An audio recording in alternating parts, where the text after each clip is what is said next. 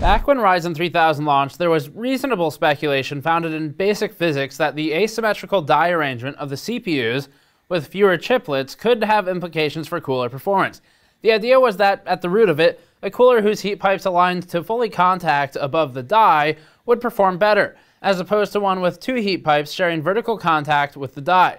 We still see a lot of online commentary about this and some threads about which orientation of a cooler is best, so we thought we'd bust a few of the myths that popped up, but also do some testing on the base idea. Before that, this video is brought to you by the MSI GTX 1660 Super Gaming X. The GTX 1660 Super is a strong mid-range performer that's capable of 1440p gaming without issue, and MSI's Gaming X variant uses a dual fan cooler with a more traditional two-slot design for versatility. It also has RGB LEDs, of course. Learn more at the link below. This is pretty old news by now, with much of the original discussion starting about two months ago, but it's still alive. And Noctua recently revived this issue at the end of no October, October, Noctober, at the end of October, by stating that it believed there to be no meaningful impact on the performance thermally of the CPU based upon the orientation of the cooler. Now, this is not a Noctua cooler I have on the table here, but uh, the idea was that if you have a cooler like this, versus like this, there was a difference purely from the level of contact or the, the type of contact with the heat pipes between the underlying die under the IHS and the cooler itself, ignoring all other variables like the case. That was the theory. So this is something that's unique to Ryzen, Ryzen 3000 especially, because we're used to monolithic dies from Intel and from AMD in the past, but these asymmetrical multi-chip approaches are still somewhat new.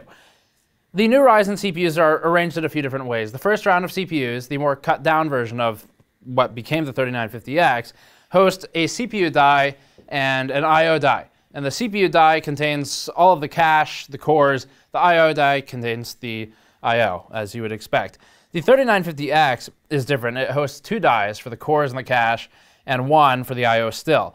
This modular approach means that all of them are asymmetrical to some extent, but the 3950X is arguably a little bit less asymmetrical because it's got the full saturation of the substrate, uh, other than the I.O. die is kind of off alone. So a 3800X versus a 3950X will have one delta of, of amount of silicon dies on the board, on the substrate that is. Because of this asymmetrical die arrangement, we've had viewers email us to ask if a Noctua NH-U14S would work better on a Ryzen CPU than the much larger NHD15, entirely predicated on the idea that the heat pipe alignment would be more efficient. And if you look at the NHD15, its heat pipes are front to back, whereas the U14S are left to right, and that's where that came from. A few of the comments we found online also include these. Quote, it's not whether you have one or two or 93 towers, but whether just one or two heat pipes end up being the ones, the only ones covering the compute dies. Another quote, Single tower coolers usually have heat pipes running vertically when looking at the CPU as we see on the thumbnail of the quoted video, which would mean at least two out of the four heat pipes would cover the chiplet. If the single tower were to be rotated 90 degrees, it would still be the same, roughly two heat pipes directly contacting it.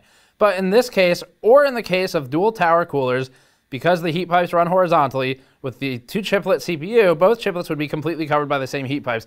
This actually is just a, a summation comment of what you saw in the uh, the discussion. Another quote, a final one. This means that most, if not all, cooling solutions available on the market for Zen 2 are ineffective since the dies are set in asymmetric, non-central fashion, and that's why most people can't reach advertised boosts. This is this last one's just an illustration of how Reddit sees something and goes absolutely, completely crazy, certifiably insane with it. These are two separate issues. We don't really need to dig into it really any further than that, but jumping from the base idea, which does make sense, of hey, there's heat sources in asymmetrical locations, maybe that impacts things, to all coolers are ineffective, is quite a large jump. Anyway, maybe try and keep that in check. And if everyone could just like kind of cool it a little bit on the sensationalism, the dramatic responses, that'd be great. So you get the idea. It's worth still trying this for ourselves since we don't really trust random internet user data. There's some of that out there, but thermal testing is hard, and we reran these tests two separate sets of times, not two times, but two sets of times for a total of a couple dozen verification passes between the three coolers and two CPUs tested. Noctua is one of the few companies that does offer mounting hardware for both orientations. So we used three Noctua coolers for this. It made sense, small, medium, and large. And uh, Noctua also has come out publicly with its own statement dismissing the idea that there's a difference here. So we thought, well, we already have some data that we can source from them, so we might as well just validate.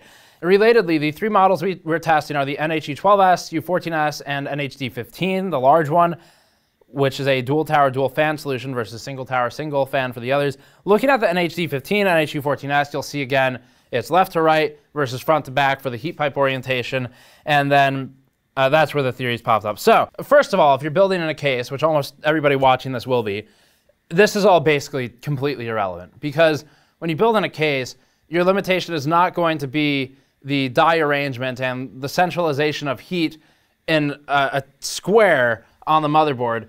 Your issue is going to be the panels of the case, the airflow capabilities of the case, the fans in the case, the positioning of the fans in the case, the positioning of other components in the case, like the video card, and things like that. So a bad case can't be fixed by ultra optimized die to heat pipe positioning. You're wasting your time even worrying about it. A cooler that only fits in one orientation likely for GPU or RAM clearance reasons, is obviously not usable in another orientation, so not worth worrying about there either. If you've got a cooler smashed against a glass panel on the top or double filters, it's going to have a bad time. Again, no reason to worry. Likewise, using the top PCIe slot will smash a GPU right up against a lot of tower coolers, which is about the worst possible configuration. That's because, clearly, the GPU is a massive heat source that's potentially responsible for dumping 200, 250 watts of heat into your case. A lot of that is radiative heat off the backside of the GPU, which would get sucked into the cooler. The next aspect is that the GPU acts like a massive wall to airflow. So the fan is going to need all the static pressure it can get to fight the wall in front of it. These things alone mean that in nearly every instance of a standard, non-inverted, and non-rotated ATX case, a front-to-back configuration is likely the best solution. Probably not always, but nearly always. Most people on the internet, and in general, unfortunately care more about seeing results than talking about how they are gotten. Different societal discussion. So let's get into the results first, and then we'll talk about some of the testing parameters because these have to be very controlled when we're looking for something that might be a very small difference. We'll talk conclusions after that. We'll present the Noctua NHD15 results on the 3800X first, and then talk about the 3950X and some of the other coolers. They use different die configurations between the different CPUs, so this allows us to better see if the heat distribution changes in a meaningful way when there is an asymmetrical die layout under the IHS. Of course, there is a change in the precise position of heat sources under the heat spreader, obviously, but the real question is whether that matters, whether that impacts the T-die measurement when considering that solder and IHS, multiple layers of metal in between, and then TIM and then a heatsink are all part of the cooling solution. With the 3800X and the D15, looking at the first chart, we were unable to measure a difference outside of our error. We ran these tests six times or so and ended up with a 53.9 degree result for the rotated airflow pattern, e.g. with air coming from the direction of the video card, and then 52.6 degrees for the standard front to back orientation. The video card here is a half-height passive GT1030 in the bottom most compatible PCIe slot of the board, so it's as out of the way as it can be, and it's also short, but it's obviously possible there's some very minor detriment from the video card's presence. We couldn't find a reliable difference, though, between these results, even with that consideration. So these are functionally identical. Just for quick reference, we'll highlight the VRM thermals on the board as well. VRM thermals are largely unchanged from this rotation.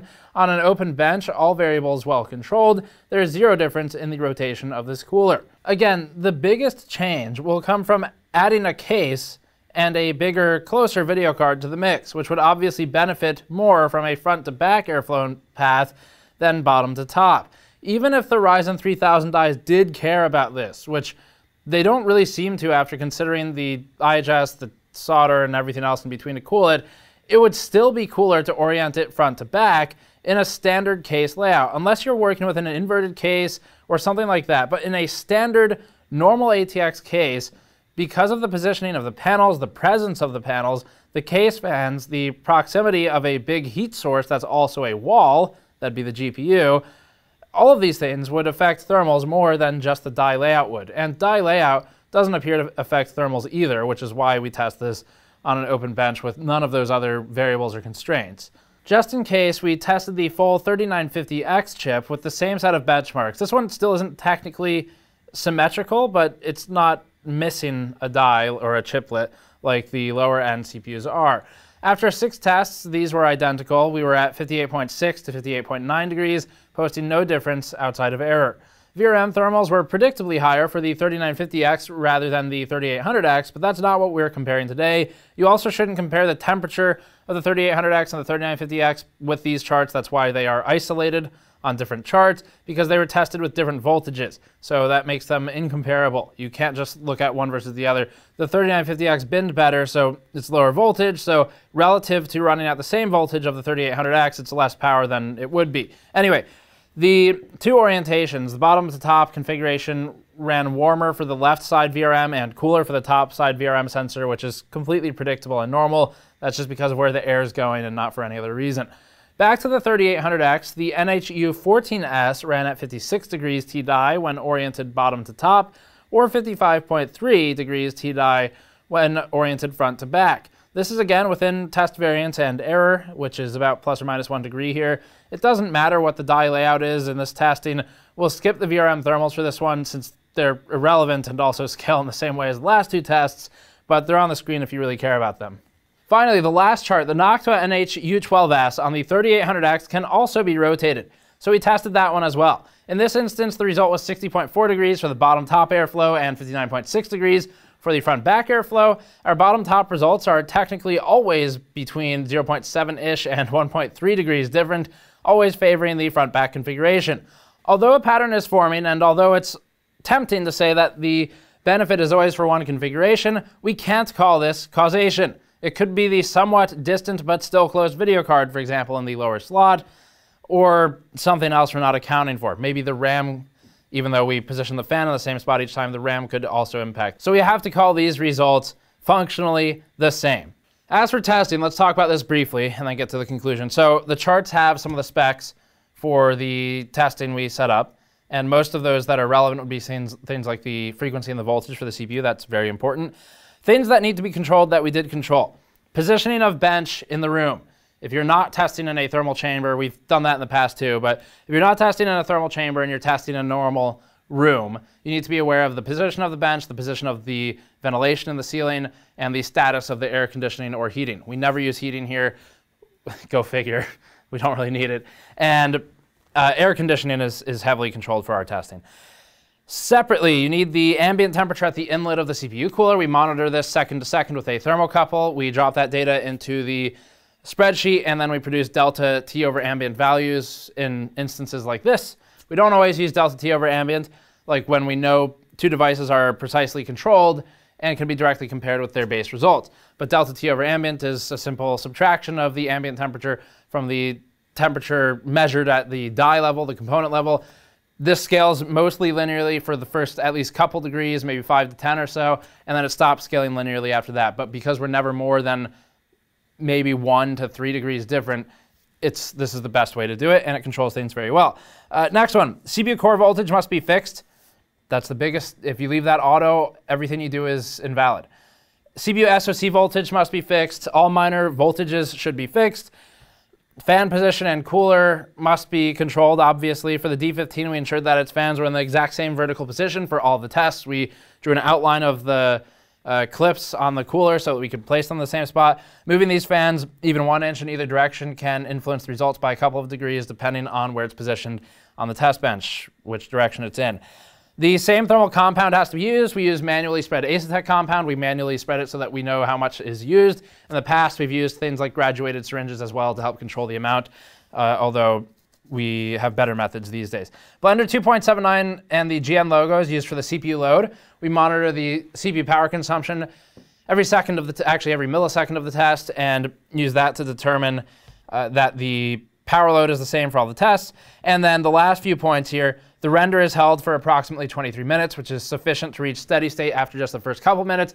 And then we average, from a steady state, we average a couple hundred rows of data, cells of data, to uh, get our numbers that we report, and then we mo do multiple test passes and average those.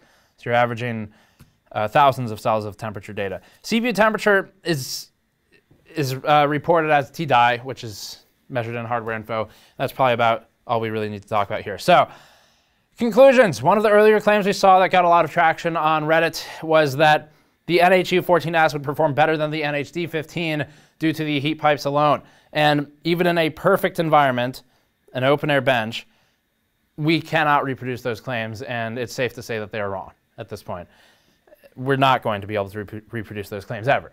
So the only reason that might be true is if it's something to do with the positioning in the case and the obstructions to the cooler in that case. That's the only reason that would ever matter, not the dies. So as we've shown tonight, that's that's patently false. We were also unable to validate the claims in general that the heat sources particularly matter for overall, uh, like heat source versus heat pipe orientation and alignment doesn't really seem to matter on these three coolers. Now we haven't tested everything, and maybe maybe something like a an open loop block, for example, where you're dealing with jet plates, that might matter a bit more.